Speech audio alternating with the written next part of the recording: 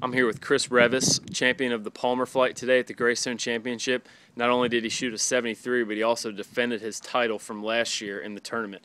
Tell us about your round and um, the keys to your good play. Uh, I mean, the wind was pretty brutal battling it in the cold this morning. Uh, just trying about uh, about minimizing mistakes. Uh, putted okay, could put it a little bit better. Uh, ball striking really helped me today. Did you have any extra nerves on the first tee, knowing you were defending champion and everybody was coming for you? No, it's just another round of golf. Uh, that's the beauty of the game. Each day is a new day. Well, congratulations. Thank you.